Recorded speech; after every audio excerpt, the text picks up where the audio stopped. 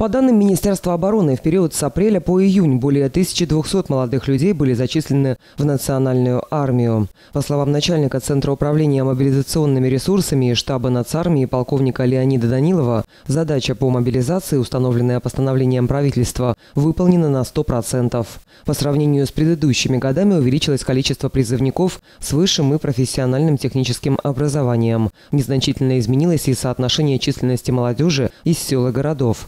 Самый высокий уровень призыва был зарегистрирован в территориальных военных центрах Каушанского, Страшенского, Сорокского, Унгенского, Хинчешского, Тараклийского районов, Бельцы Гагаузии, а также военно-административных отделах Дандюшан, Шалданешт, Чемешли, Резина, Дубасар, Штефанвода и других. Министр обороны Александр Пензарь высоко оценил тот факт, что структуры, ответственные за процесс призыва, сумели выполнить свои задачи, несмотря на эпидемиологическую ситуацию в стране.